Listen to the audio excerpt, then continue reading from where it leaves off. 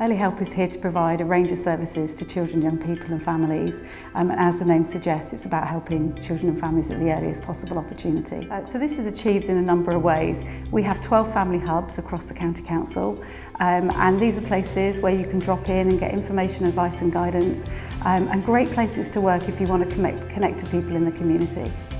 We have dedicated schools teams and these teams are specialist workers who are responsible for supporting schools, helping them understand which children um, need what kind of support and being able to go into the homes and help families in a very quick way and a very flexible way um, depending on the need. We have family support teams and our family support teams are again specialist workers who work long term with families in their home and in the community um, and support them on a plan, helping them to get the best outcomes for themselves and their children.